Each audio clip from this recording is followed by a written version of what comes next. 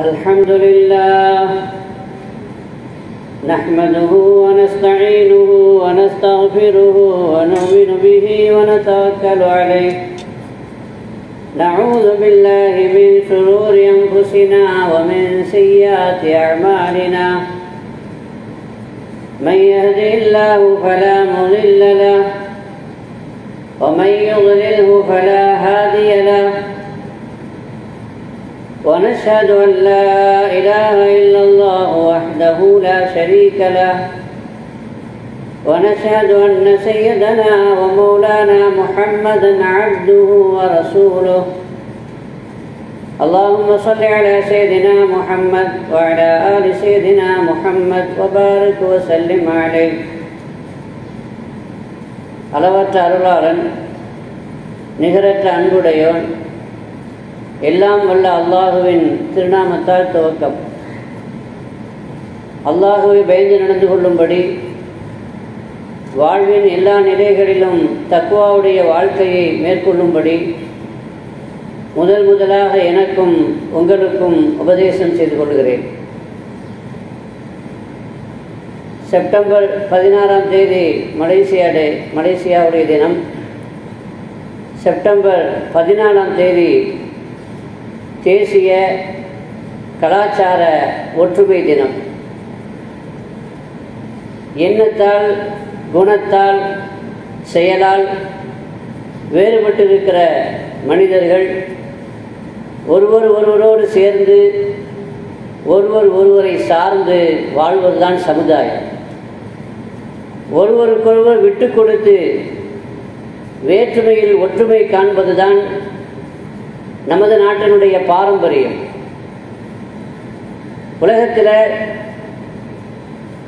பல்வேறு கலாச்சாரம் பல்வேறு மதம் பல்வேறு மொழி இனம் இப்படி எத்தனையோ வேறுபாடுகள் இருக்கிறது. ஆனாலும் கூட நாம் எல்லோரும் ஒரு தாய் மக்கள். எனவே நாம் விட்டு கொடுத்து அனுசரித்து செல்வதுதான் வேற்றுமையில் ஒற்றுமை என்பது. வேற்றுமையில் ஒற்றுமை என்று சொல்கிற பொழுது அது இந்த உலகத்தினுடைய இயல்பான இறைவனுடைய அல்லாஹுடைய ஒரு படைப்பின் ரகசியம் தத்துவம். அல்லாஹுவை தவிர இந்த உலகத்தில் உண்டான எல்லாமே வேற்றுமைகள் வேற்று வேறு வேறு வேறுபட்டவைகளாகத்தான் இருக்கின்றன. இந்த உலகத்தை நீங்கள் எடுத்து பார்த்தால் வானம் பூமி கடல் திடல் சூரியன் சந்திரன் இரவு பகல் சூடு குளிர் அதே போன்று காலங்கள் வசந்த காலம் இலையுதிர் காலம் குளிர்காலம் கோடை காலம். உயிரினங்களை எடுத்துக்கொண்டால் பல்வேறு வண்ணங்கள் பல்வேறு குணாதிசயங்களை கொண்ட உயிரினங்கள். தாவரங்களை எடுத்துக்கொண்டால் பல்வேறு குணங்களையும் பல்வேறு தன்மைகளையும் கொண்ட வித்தியாசமான தாவரங்கள் இப்படி உலகத்தினுடைய அமைப்பு படைப்பு எல்லாம் வேறுபட்டவைகளாகத்தான் இருக்கிறது அல்லாஹுடைய அமைப்பில். ஆனால் எல்லாவற்றிலும் ஒன்றுபட்டு இருப்பது அல்லாஹுனுடைய குதிரத். அல்லாஹுனுடைய அந்த எழ்மும் அல்லாஹுடைய அந்த உஜூதியத்தும் இருப்பது எல்லாம் அந்த ஒன்றில் நாம் அவனுடைய குதிரத்தை பார்த்து விளங்கிக் கொள்ள முடியும். அந்த அடிப்படையில் ஒரு தாய் மக்களாக இருக்கிற நாம் நமக்குள்ளே வேற்றுமை இருக்கிறது உருவத்திலும் இருக்கிறது நிறத்தில் இருக்கிறது. ஏன் அல்ல அந்த வேற்றுமையை வைத்தான்? ஒரு தாய்க்கு ஐந்து பிள்ளைகள் அல்லது பத்து பிள்ளைகள் இருக்கிறது என்று சொன்னால் எல்லோரும் ஒரே நிறத்தில் எல்லோரும் ஒரே குணத்தில் எல்லோரும் ஒரே லட்சணத்திலே ஒரே தோற்றத்திலே இருந்தால் மனைவி மனைவிகளுக்கு வித்தியாசம் தெரியாமல் போய்விடும். யார் நம்முடைய கணவர் என்று தெரியாமல் போய்விடும்? தாய்க்கும் தந்தைக்கும் நமது மகன் இஸ்மாயில் யார் இப்ராஹிம் யார் என்று தெரியாமல் போய்விடும். இப்படியே நீங்கள் எடுத்து சிந்தித்து தொடர்ந்து பார்த்தால் ஒரு மச மதரசாவிலே பள்ளிக்கூடத்தில் படிக்கிற மாணவர்கள் அவர்களுக்கிடையே உள்ள தராதரம் வித்தியாசம் யார் உஸ்தாத் யார் மாணவர் என்று வித்தியாசம் தெரியாமல் போய்விடும். ஒரு இராணுவத்தை எடுத்துக்கொண்டாலும் இதே கதிதான். இப்படி இந்த உலகம் இயங்க வேண்டும் என்று சொன்னால் மனிதர்கள் வேறுபட்டவர்களாக இருக்க வேண்டும். ஆனால் அந்த வேறுபாட்டை அடையாளம் காண்பதற்காக அல்லாஹ் வைத்திருக்கிறான். வித்தியாசப்படுத்தி தெரிந்து கொள்வதற்காக வைத்திருக்கிறானே தவிர அதை காரணம் காட்டி அவர்களை தனிமைப்படுத்துவதோ ஒதுக்குவதோ அவர்களை ஓரம் கட்டுவதோ அது அநியாயம். அதை இஸ்லாம் ஏற்றுக்கொள்ளவில்லை. கண்மணி நாயகம் செல்லல்லா உலக செல்லம் இந்த உலகத்தில் நமக்கு இஸ்லாத்தை அறிமுகம் செய்த பொழுது ஒரு உண்மையை நமக்கு தெளிவுபடுத்தினார்கள். உலகத்தில் பல்வேறு மதங்கள் இருக்கிறது. அல்லாஹுடத்தில் அங்கீகரிக்கப்பட்ட மார்க்கம் இஸ்லாம் தான். சந்தேகமே இல்லை. ஆனால் அல்லாஹ் எல்லோரும் இஸ்லாத்தை ஏற்றுக்கொள்ள வேண்டும் என்று வற்புறுத்தவில்லை. அதை நம்முடைய சாய்ஸில் விட்டிருக்கிறான். நீ சிந்தித்து நீ முடிவு செய்து கொள் என்று நம்மிடத்திலே விட்டிருக்கிறான். தேர்வு செய்யக்கூடிய அதிகாரம் நம்மிடத்திலே இருக்கிறது. எனவே இந்த உலகத்திலே நீங்கள் வரலாற்றை எடுத்து பார்த்தால் காஃபிர்கள் வேதனை செய்யப்பட்டிருக்கிறார்கள் ஒரு காலத்தில். ஆனால் அவர்கள் யாருமே இஸ்லாத்தை ஏற்றுக்கொள்ளவில்லை என்பதற்காக வேண்டி மட்டும் அவர்களுடைய குஃபரின் காரணமாக அவர்களுக்கு வேதனை இறங்கியதாக இல்லை. மாறாக அவர்கள் அநியாயம் செய்திருக்கிறார்கள் அக்கிரமம் செய்தார்கள். இந்த உலகத்திலே காஃபரை அல்லாஹ் ஒன்றும் செய்ய மாட்டான். ஆனால் இந்த உலகத்திலே அநியாயம் செய்யக்கூடியவர்கள் அவர்கள் முஸ்லிம்களாக இருந்தாலும் விட மாட்டான் இந்த உலகம் நீதி பரிபாலனம் சீராக சிறப்பாக இயங்க வேண்டும் என்றால் இயங்க வேண்டும் என்றால் இந்த உலகத்தில் நேர்மை நீதி சட்டம் ஒழுங்கு பாதுகாக்கப்பட வேண்டும். எனவே இந்த வேற்றுமைகளை வைத்துக்கொண்டு வித்தியாசப்படுத்தி அவர்களுடைய உரிமைகளை பறிப்பதை இஸ்லாம் ஏற்றுக்கொள்ளவில்லை. மாறாக அவர்களை அடையாளம் கண்டு அவர்களின் மூலமாக ஒவ்வொருவரின் மூலமாக நாம் பெற வேண்டிய சேவைகளை தேவைகளை பெற வேண்டும் என்பதற்காக அல்லாஹ் தரங்களை ஏற்படுத்தியிருக்கிறான். எத்தனையோ இனங்கள் மொழிகள் மதங்கள் இருந்தாலும் மனிதம் மனித நேயம் என்ற புள்ளியிலே எல்லோரும் ஒன்றுபடுகிறார்கள். பெருமானார் சரதாலே செல்லம் மதினாவுக்கு வந்த பொழுது அங்கே யூத இனம் வாழ்ந்து வந்தது. அங்கே இஸ்லாத்தை பிரச்சாரம் செய்தார்கள். அந்த யூதர்கள் இஸ்லாத்தை ஏற்றுக்கொள்ளவில்லை என்பதற்காக வேண்டி அவர்களை மதினாவை விட்டும் துரத்தவில்லை. மாறாக அவர்களோடு புரிந்துணர்வு ஒப்பந்தம் செய்து கொண்டார்கள். அவர்கள் அந்த நாட்டிலே அந்த பகுதியிலே அந்த ஊரிலே இருப்பதற்கு அனுமதி கொடுத்தார்கள். அவர்கள் தங்களது மதத்தை பின்பற்றி வாழ்வதற்கும் வசிப்பதற்கும் உரிமை வழங்கினார்கள். இது எதை காட்டுகிறது என்று சொன்னால் ஒரு நாட்டிலே ஒரு இடத்திலே ஒரு ஊரிலே பல்வேறு மதங்களை சார்ந்தவர்கள் இருப்பது இஸ்லாத்திற்கு விரோதமான காரியம் அல்ல. அவரவர்கள் அவரவர்களுடைய மதத்தை கோட்பாட்டை பின்பற்றுவது ஏற்புடையது லாய்க்கராக சித்தீன் மார்க்கத்திலே வற்புறுத்தல் என்பது இல்லை. லக்கும் தீனுக்கும் ஒளி தீன் எங்களுக்கு எங்கள் மார்க்கம் உங்களுக்கு உங்களது மார்க்கம் சுதந்திரம் வழங்கப்பட்டிருக்கிறது. ஆனால் மதத்தின் பெயரால் அநியாயம் செய்ய செய்கிற பொழுது அக்கிரமங்களை அரங்கேற்றம் செய்கிற பொழுது அப்பொழுதுதான் நடவடிக்கைகள் பாய்கிறது. சட்டத்தின்படி அவர்கள் மீது நடவடிக்கை எடுக்க வேண்டிய அவசியம் ஏற்படுகிறது. இதை நாம் தெளிவாக புரிந்து கொண்டால் உலகத்தில் நமது மலேசியாவிலே முவ்வினம் மக்கள் வாழ்கிறார்கள். உலகத்திலே பல்வேறு நாடுகளில் பல்வேறு மொழிகளும் இனங்களும் மதங்களும் பின்பற்றுகிற வாழ் மக்கள் வாழ்கிறார்கள். எங்கெல்லாம் அவர்களுக்கு மத்தியில் அந்த வேற்றுமையிலே ஒற்றுமையை நாம் பார்க்கிறோமோ அங்கெல்லாம் அமைதி ஏற்படுவதை அமைதியான ஒரு சூழ்நிலை உருவாகுவதை உலாவுவதை நாம் பார்க்க முடியும்.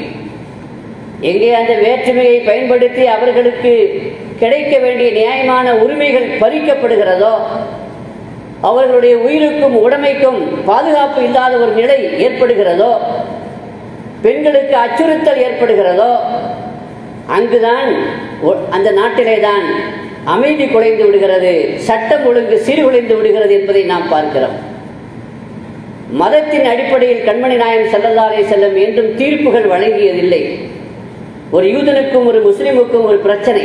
மதீனாவில் சிலாத்தினுடைய ஆட்சி ஏற்பட்டிருக்கிற அந்த ஆரம்ப காலகட்டம். யாரிடத்தில் தீர்ப்புக்காக வேண்டி செல்வது மத்தியஸ்தம் செய்வதற்காக வேண்டி யாரை நாடுவது என்று அந்த முஸ்லிமுக்கும் யூதனுக்கும் விவாதம் வருகிற பொழுது முஸ்லிம் சொன்னார் காபுகுன் அஸ்லபடத்திலே செல்லலாம் என்று சொன்னார். முனாஃபி யூதன் சொன்னான் இல்லை இல்லை அல்லாவுடைய ரசூல் செல்லல்லாலே செல்லும் அவங்களிடத்துல போகலான்னு சொன்னான்.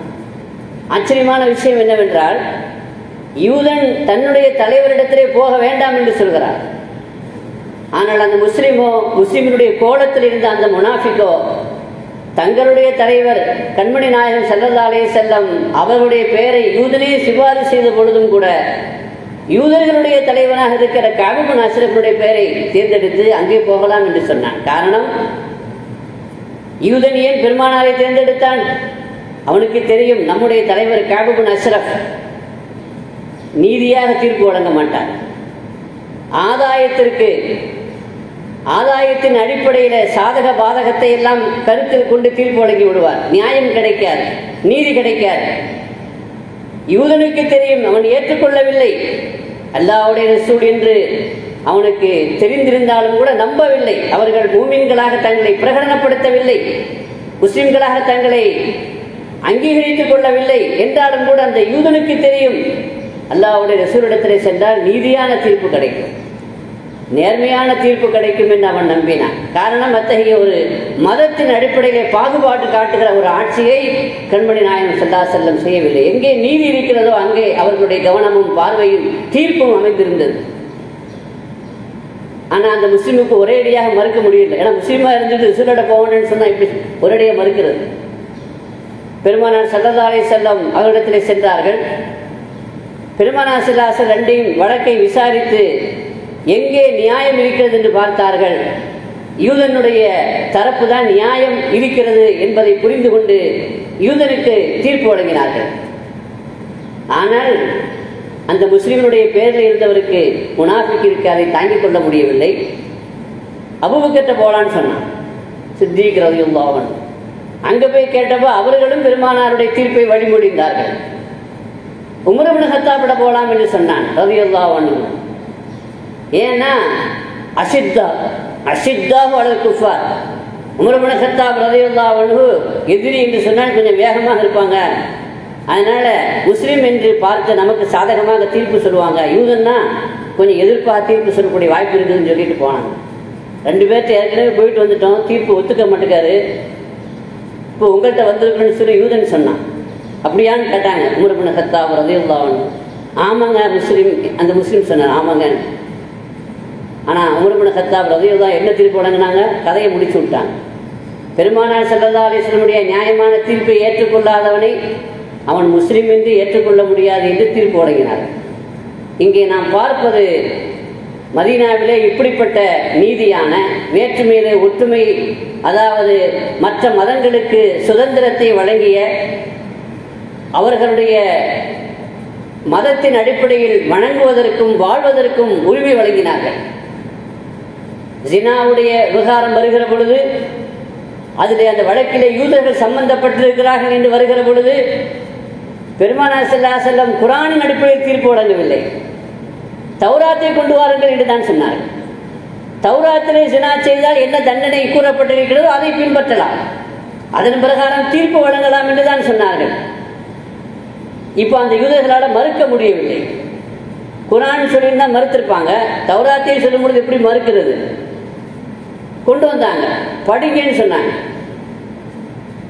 அங்க படிச்சா தௌராத்திலையும் இஸ்லாத்திலே உள்ள குரானிலே உள்ள அதே ஜினாவுடைய அந்த சட்டம் தான் அங்கே உறுதி செய்யப்பட்டிருக்கிறது.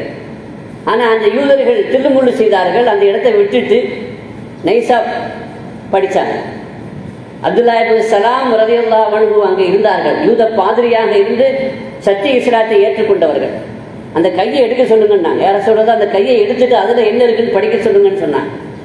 இப்படி அவரவர்களுக்கு அவரவர்களுடைய மதத்தின் அடிப்படையில் அவர்களுடைய வேதத்தின் அடிப்படையில் வாழ்வதற்கும் வசிப்பதற்கும் அதன் அடிப்படையில் அவர்களுக்கு தீர்ப்பும் வழங்குவதற்கும் இஸ்லாம் அனுமதிக்கிறது என்று சொன்னால் வேற்றுமையில் ஒற்றுமை என்பது அது இஸ்லாத்தினுடைய அமைப்பில் ஏற்றுக்கொள்ளப்பட்ட ஒரு தத்துவம் என்பதை நாம் விளங்கிக் கொண்டு நாம் ஒருவருக்கொருவர் விட்டு கொடுத்து நாம் பாகுபாடு பார்க்காமல் வாழ்வோம்.